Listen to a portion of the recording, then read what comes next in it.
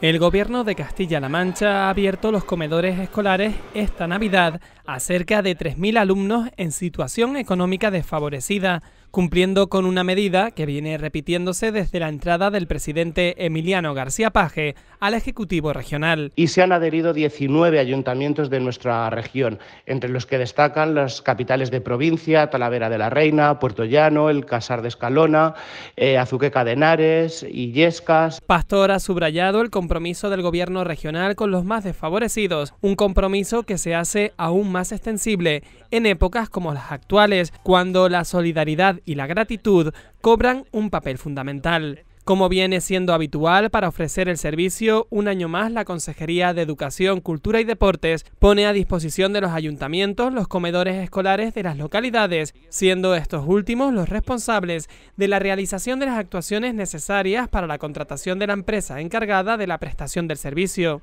En este contexto, el viceconsejero ha comentado que del alumnado potencial que se puede beneficiar de esta medida, un total de 1.997 es susceptible de recibir la beca en su totalidad, teniendo cubierto el 100% del menú. Por su parte, 939 son los alumnos becados en un 50%. Pastor también ha explicado que la duración de los convenios para el periodo de las vacaciones de Navidad se extiende en esta edición desde el pasado 23 de diciembre hasta el 5 de enero de 2023, ambos inclusive. El gobierno regional sigue generando investigaciones feministas a través de la Cátedra de Investigación Isabel Muñoz Caravaca, con varios años de trabajo de colaboración e intercambio de conocimientos entre el Instituto de la Mujer de Castilla-La Mancha y la Universidad de Alcalá. En la cuarta jornada de esta cátedra se presentó el trabajo de investigación sobre la competencia para educar en igualdad de futuras y futuros docentes de Castilla-La Mancha, cuyo objetivo ha consistido en analizar el grado de conocimiento, las habilidades y la sensibilización que las y los docentes en formación tienen en relación a la igualdad y a la coeducación. Desde luego, no hay duda de que la educación es una de las herramientas más potentes para luchar contra las desigualdades y para construir un mundo más justo e igualitario. Por eso, desde el Gobierno de Castilla-La Mancha insistimos en esa necesidad de que toda la comunidad educativa, tanto el profesorado como el alumnado y, por supuesto, también las familias, se impliquen en este trabajo por la igualdad.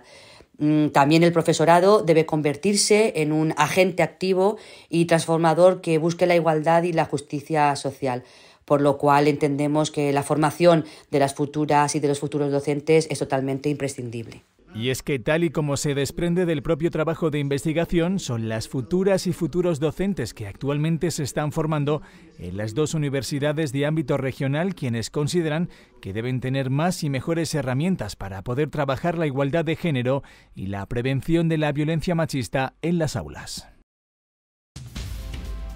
Se llama Antón y ha nacido en el Hospital Virgen de Altagracia de Manzanares ha sido el primer bebé de 2023 en nuestra región. En la foto lo vemos junto a sus padres, Jessica y Antón, felices por este alumbramiento. Pedro Vega y Silvia Rey han sido los ganadores en la carrera conmemorativa del 40 aniversario de la San Silvestre Toledana. Celebrada el pasado sábado, en ella participaron más de 4.000 aficionados al atletismo.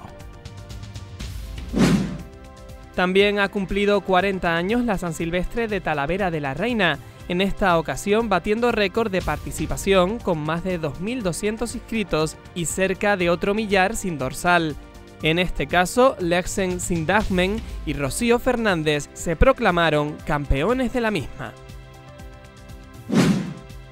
El Ayuntamiento de Toledo ampliará el 50% el descuento en los abonos del autobús urbano. Así lo anunciaba la alcaldesa de la localidad, Milagros Tolón, sumándose a la propuesta del Gobierno de España para incentivar el transporte colectivo y hacer frente al escenario de inflación y crisis energética global.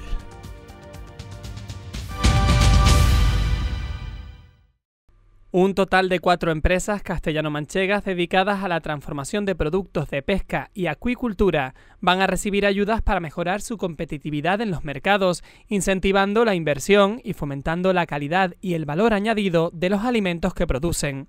En concreto, percibirán un montante de 643.000 euros para inversiones de casi 1,3 millones, lo que supone la mitad del coste de los proyectos. Todas las industrias beneficiarias son microempresas o pymes y están ubicadas en las provincias de Ciudad Real y Guadalajara. Gracias a esta línea de ayudas, convocadas en marzo de 2022, las empresas beneficiarias realizarán diferentes inversiones orientadas a optimizar sus instalaciones, a abrir nuevas líneas de producción o, en uno de los casos, a construir una estación depuradora de aguas residuales. Podrán desarrollar sus proyectos hasta octubre de este año 2023.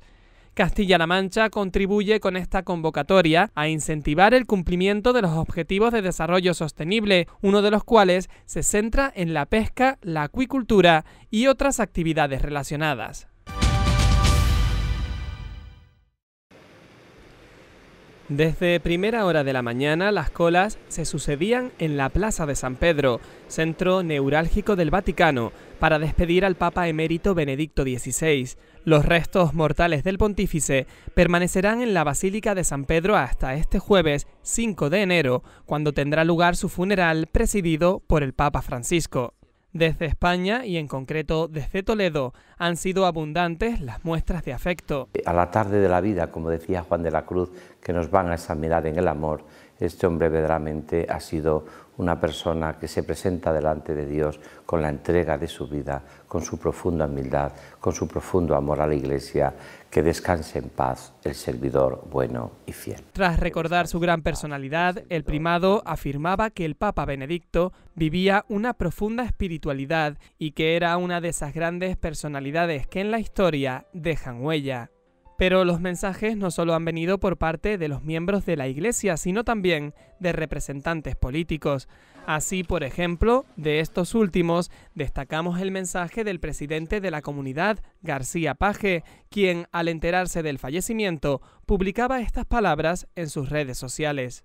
Recordar que la Catedral de Toledo tiene previsto acoger el sábado 7 de enero una misa funeral por el Papa Benedicto XVI. Tendrá lugar a las 12 del mediodía y en ella están invitados a participar todos los sacerdotes, los miembros de la vida consagrada activa y los fieles de la archidiócesis, especialmente los pertenecientes a los movimientos de vida apostólica y a las hermandades y cofradías y a todas las entidades del apostolado seglar. También serán invitadas las autoridades civiles y militares tanto de la comunidad autónoma como de la provincia y de la ciudad de Toledo.